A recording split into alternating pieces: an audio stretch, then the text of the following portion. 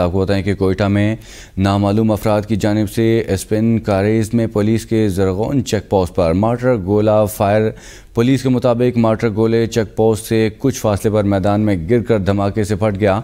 Martyr गोला fire करने के बाद फायरिंग भी की गई। ताहम कोई जानी नुकसान नहीं हुआ।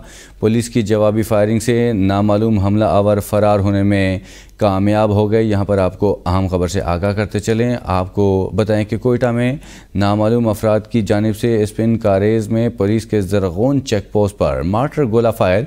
पुलिस के मुताबिक मार्टर गोले चेक पोस्ट से फायर किए गए और मार्टर गोला फायर करने के बाद फायरिंग भी की गई।